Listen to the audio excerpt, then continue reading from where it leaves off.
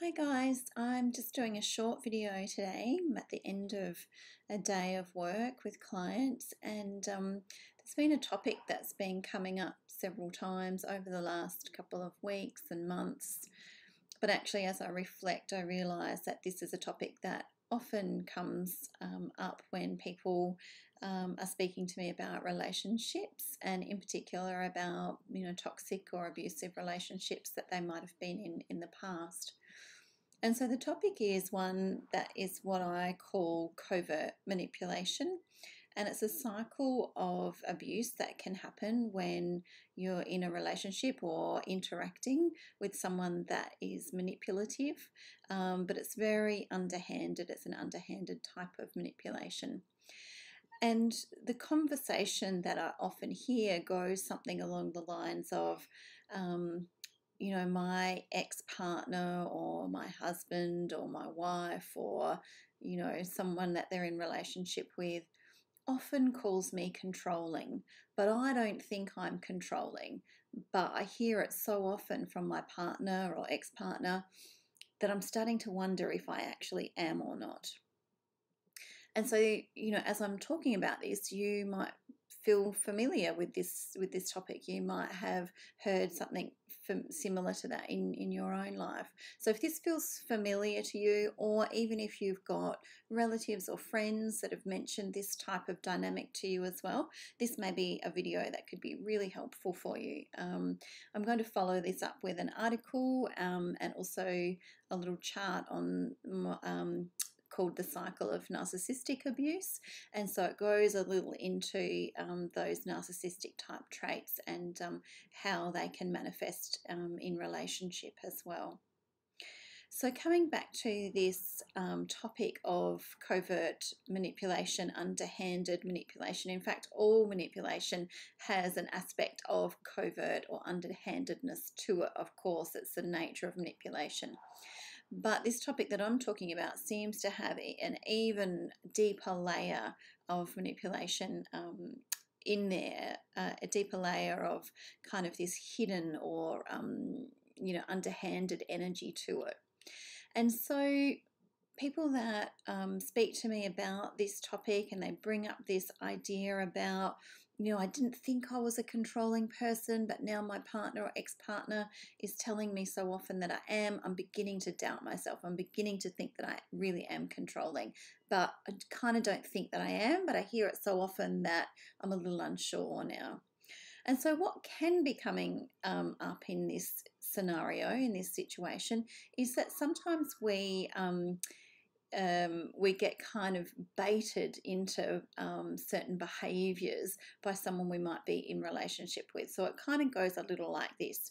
Um, person A is controlling in a very underhanded or covert type way. And the way that they control is they will often um, not do anything, or they'll, you know, be very silent. They might give the silent treatment, or their inaction creates a response or a reaction from the person that they're in relationship with. And so it kind of forces or puts the ball in the other person's court to make them say something or do something.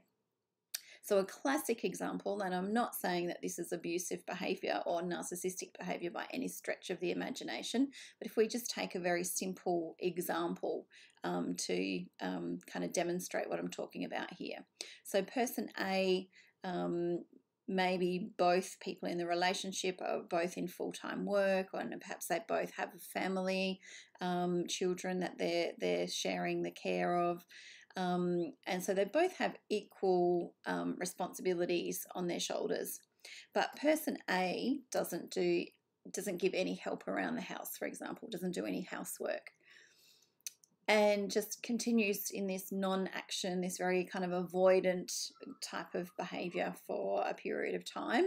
And after a while, person B starts to go, hang on a minute, I'm the only one doing any of the home duties and housework here um, I'm going to say something, you know, we kind of get to that boiling point and we want to voice um, how we're feeling about that. So we bring that up and we say, you know, I feel like I'm the only person doing any housework around here. This is, you know, been going on for so long.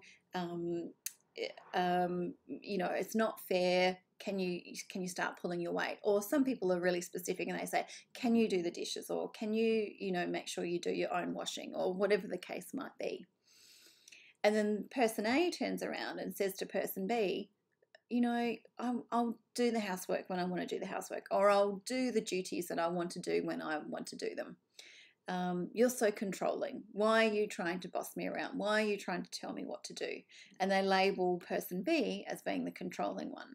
But actually, if we backtrack, the control is actually coming from person A, and the control is coming from the inaction or the lack of responsibility.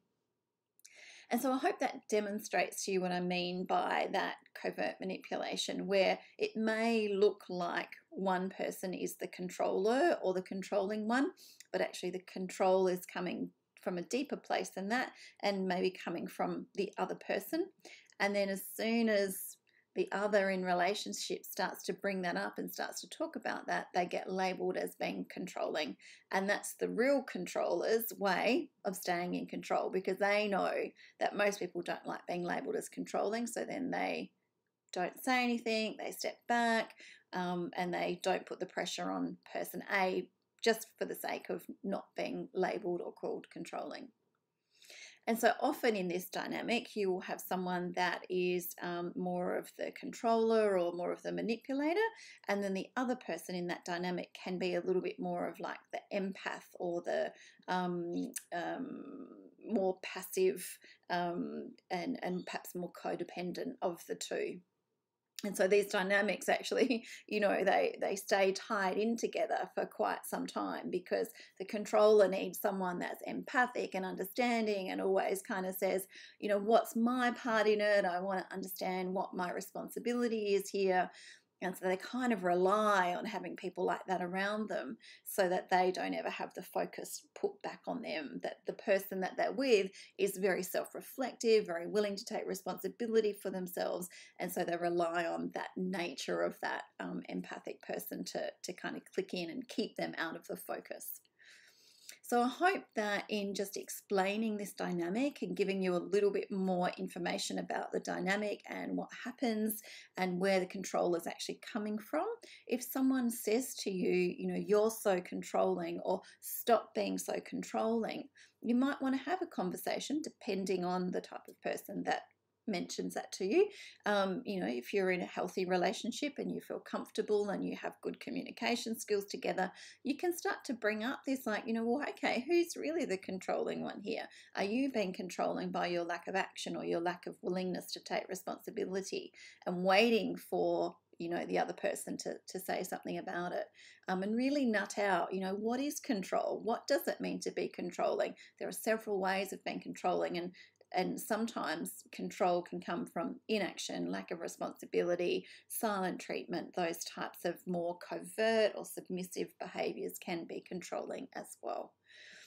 And so, overt control, you know, might be the type of control that these people are talking about when someone tells them what to do or bosses them around a little bit, you know, um, and that's more overt control rather than covert control, which is what they're doing in order to manipulate.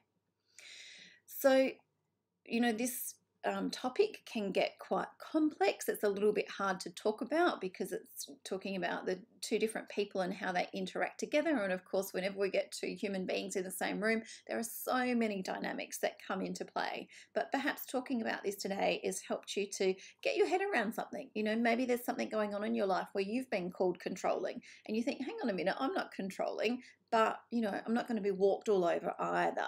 Um, and so sometimes there's some balance that can be brought in where you can become assertive and be assertive and not controlling and actually have the skills and the language to call the other person on their control. They may not even know that what they're doing is controlling um, and starting that control cycle